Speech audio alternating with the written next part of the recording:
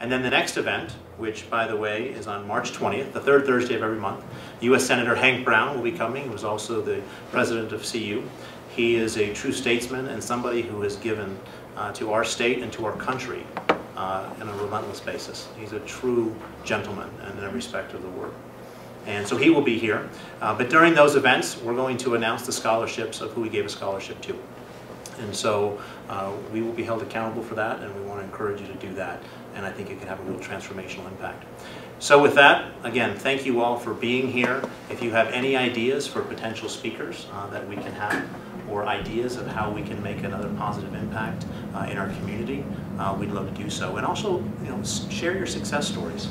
I really hope that somebody came up with an idea. I think a company or two were started here tonight with different ideas. I'm not sure, but uh, but that's what makes it exciting. So thank you all for being here tonight. Appreciate it.